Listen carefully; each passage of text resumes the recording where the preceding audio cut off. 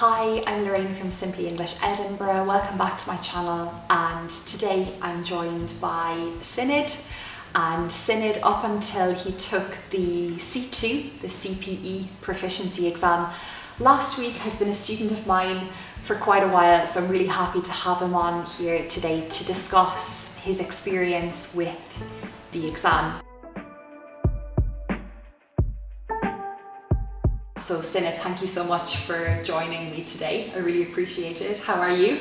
I'm good, how are you? Yeah, good, thanks, good. So you did the exam last week. Mm -hmm. How did it go? How did it go? So actually the reading use of English was that was alright. Um, the listening and speaking that was really difficult, um, especially speaking because mm-hmm. mm -hmm. I was so nervous and when I'm nervous, I can't, I can't speak. Mm -hmm. um, and I, my brain just froze and I didn't know what to say. And that's probably the worst thing that can happen to you when you're in an exam. Mm -hmm. um, so yeah, but I'll see. I'll yeah, see. see. how it went.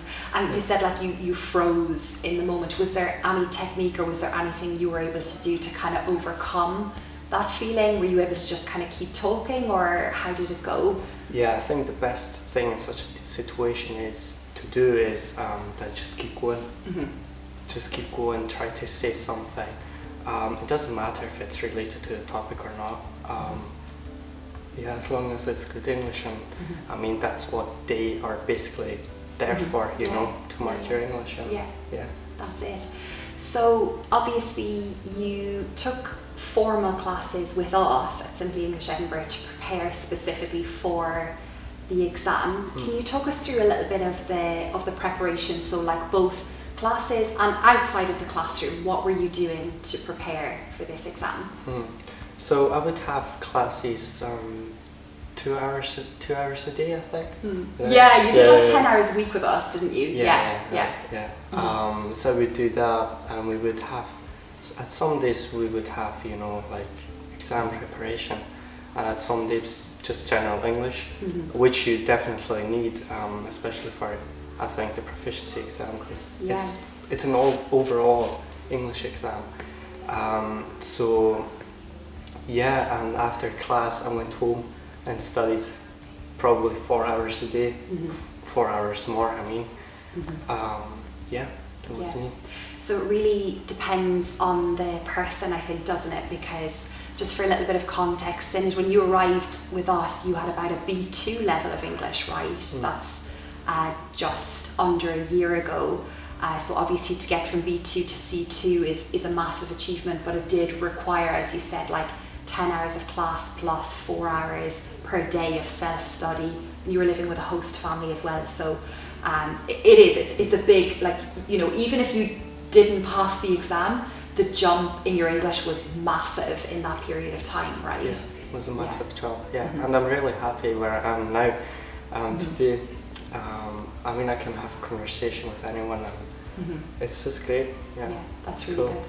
I mean, C2 is the kind of exam that like a lot of maybe you watching are, are thinking about taking um, and it's the kind of exam that a lot of even my former students have said like how do I know when I'm ready? And you're kind of never ready because as you said it's an all-encompassing mm. exam at such a high level. So how did you kind of decide you were ready? Or was it a teacher that kind of said okay let's book it. You're ready. You're ready to go. Don't know if I have a, an answer um, yeah. for this one but don't know what to say. The, you know how, how did you decide like let's book it. Let's go? I just think I never had that feeling. Yeah, yeah. I just went for it. Um, obviously, you know, you did some self-study. Mm. You worked some, you did a lot of self-study. You lived with a host family, you took classes. Is there anything else that you feel that people can do to prepare for this exam? Read a lot, read more than I do. I hate reading. Um, so that's a good advice. I mean, mm. yeah. Uh, you can get so much from just reading a book or, you know, vocabulary, um, grammar, or just expressions. Yeah. Mm -hmm. So reading, you think reading. is important. Yeah. Yeah. Yeah, definitely. Yeah, that's really good. Have you any advice for someone who is thinking about taking the exam in 2024 or beyond even? What, what would you say now that you can reflect on how you prepared? Like, is there anything that you would say, okay, do it like this, or is there anything maybe you would have done differently given the chance? I know that we've talked about that, like, I studied for like six hours a day, and I think I would do it now differently Mm. because it's just too much. Probably four hours a day is, is Mhm. enough. Yeah. I mean, just revise and like go over the stuff that you've learned, and, you'll be fine. I think. Yeah. Definitely. And one thing that I personally noticed um, you doing was when it got to kind of like about a month before the exam, um, we weren't doing any new material, right? We were just Mm. kind of revising, and I know with your other teacher as well, you were kind of work, working more on revision and on like really internalizing what you had already learned and making sure that was fresh rather than adding more and more new material. I think that's important that you kind of need to realize like when enough is enough and when to work on what you kind of already have rather than adding new stuff. So I think that's a really good piece of advice and something that I, I did see you doing and, and working on really well. Mm. So, now I guess we just have to wait for the result, right? yeah. what are what are kind of your goals with English going forward? Because it's a massive achievement to, to get to this level to take the exam. How do you see yourself using English in the future? So I'm not sure yet, but I think I'd like to become a teacher, an English teacher. Um, just yeah, maybe move to Scotland, um, work here. I don't know. Probably that's how I'd like to use my English. Mhm. Yeah. Fantastic.